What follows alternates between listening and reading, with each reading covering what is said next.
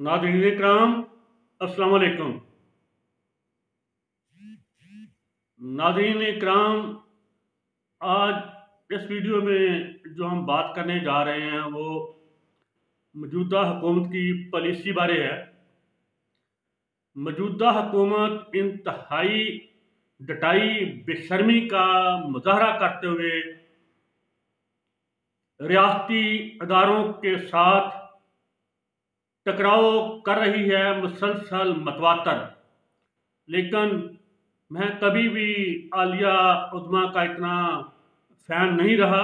लेकिन इस वक्त मैं उनको दाद देता हूँ उनके हौसले की कि वो लगातार सब्र का मुजाहरा कर रहे हैं और इस सरकसी वज़ीर अजम को तहनी अदालत में एक मिनट के अंदर इसकी तशीफ पे लात मार कर गिलानी की तरह इसको घर भेज रहे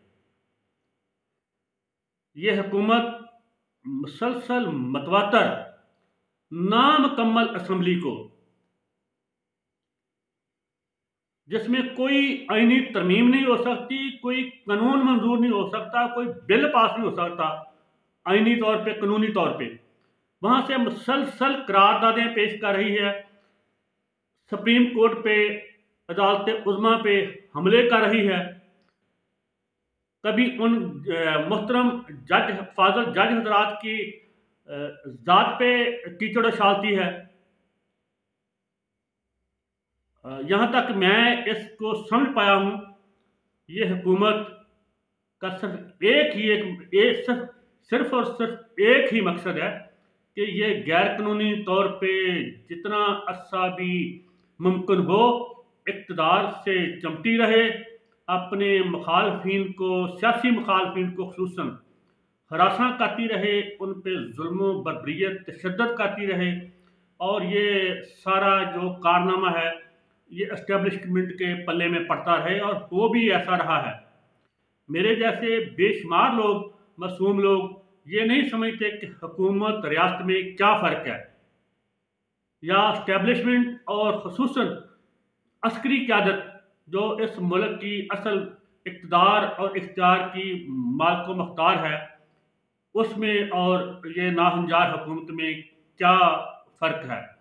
और दूसरा एक परसेप्शन ये बहुत तकड़ा बन चुका है कि इस हर इस हर हुकूमत के आने जाने में मिलिट्री इस्टेब्लिशमेंट खसूस पाकिस्तानी ज़मीनी खुदा आर्मी चीफ का हाथ होता है किसी की हुकूमत आने में या जाने में।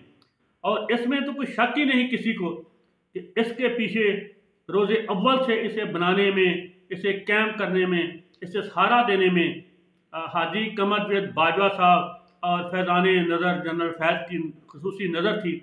और लोग समझते हैं कि मौजूदा इस्टेबलिशमेंट भी अपनी तमाम तर तोानाइयों के साथ मौजूदा हुकूमत के पीछे है। अब किसी को भी अगर गैर कानूनी, गैर आइनी तौर पे उठाया जाता है, भगाया जाता है, गैर किया जाता है तो कोई इस पर यकीन करने के लिए तैयार नहीं है कि ये वो वज़ीर दाखिला जो है, मेरी तरह बड़ा अक्लमंद सा वो राना सरा वो कर रहा है या ये सरकसी वज़ीर अजम कर रहा है। हर कसो नाकस, हर बच्चा बूढ़ा ये समझता है कि इसका क्रेडिट लोगों को गैर कानूनी तौर पे उठाने गैप करने, भगाने का तमाम तर क्रेडिट तमाम तर सेहरा, दरबार आलिया फिश्ता हाउस इस्लामाबाद आपरा को जाता है। तो खुदा का वास्ता लोग पहले ही मेरी मुकदस फौज से बहुत नफरत करते हैं। इतनी नफरत कभी पचहत्तर साल में नहीं हुई जितनी अब लोग कर रहे हैं। जितनी लोगों ने मोहब्बत पाकिस्तान में फौज से की है, अस्करी अदारा से की है, शायद अपनी औलादों से भी नहीं की हुई। और यह पहला मौका है कि मोहब्बत तो बहुत दूर की बात है, अकीदत भी दूर की बात है। अब तो इतबार, इतमाद ही नहीं रहा आपकी किसी बात पे। लोग किसी आपकी बात पे एतबार इतमाद करने को तैयार नहीं। और लोग आपसे नफरत करते हैं, मैं अपनी जान हथेली पर रखकर इसलिए आपको ये बता रहा हूँ कि आप अपना रवैया चेंज करें। हर गुजरते लम्हे के दौरान। फौज और अवाम दो चीज़ें नहीं होती, एक ही जिसम, एक रूह दो जिसम होते हैं। या यकयान दो कालब होते हैं। तो हर गुजरते लम्हे के दरमियान इनमें तफीक पैदा हो रही है, इनमें फासले बढ़ रहे हैं। जो ना तो मुल्क की सलामती के लिए ठीक है, ना आला अस्करी क्यादत के लिए ठीक है, ना हज़रत आर्मी चीफ साहब के लिए, ना D G I S I S A के लिए। अगर यही सिलसिला रहा तो बहुत जल्द आप उस मकाम पे पहुँच जाएँगे यहाँ आप हालात पे काबू नहीं पा सकेंगे। तो मेरी आपसे हर रोज़ की तरह दस्त बस्ता गुजारिश है कि इस उल्लू की पट्टी हुकूमत को समझाएँ कि ऐसे कारनामों से बात रहे जो जिनका असर बर रास्त आपकी ज़ात पे जाता है। इन्होंने आज तक कोई ऐसी करारदाद पेश की है हुकूमत ने असम्बली में? कोई महँगाई के लिए कुछ किया महँगाई कम करने के लिए, गुर्बत कम करने के लिए, बेरोजगारी कम करने के लिए, आटा फ्राहम करने के लिए कुछ ने इकदाम किया है? दस रुपए रात पेट्रोल इसने फिर बढ़ा दिया है। बढ़ाएँ, लेकिन कोई वो काम तो करें जो नज़र आए कि आवाम के लिए है। ये सब तो खबीस अपने लिए कर रहे हैं, अपनी ज़ात के लिए कर रहे हैं, अपने इकतदार के लिए कर रहे हैं। तो मैं नहीं समझता ये सिलसिला ज़्यादा देर चलेगा। जल्द या बदेर इसका अंजाम इंतहाई बुरा निकलेगा। जिसकी तमाम तर ज़िम्मेदारी मौजूदा हुकूमत पे सर होगी, लेकिन इसके साथ साथ ही इसकी पुष्ट पनाही करने वाले भी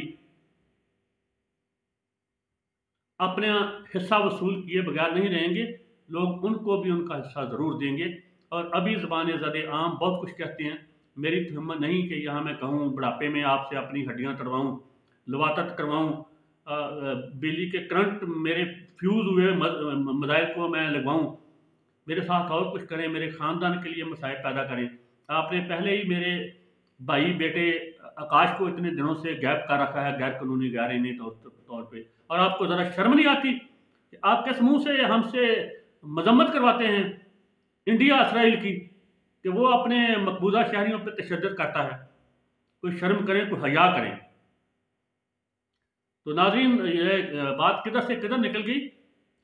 जो भी होने जा रहा है, बहुत बुरा होने जा रहा है और उसकी तमाम तर्जुमादार, ये मौजूदा हुकूमत खसूस ये सरकसी वज़ी अजम उसका वज़ी करून उसका वज़ी दाखिला, उसका वो एक वो और है, डंटोनक अता इस जैसे जितने नाहंजार इसके वज़ीर मशीर हैं, वो सब जुम्मेदार हैं होंगे इसके।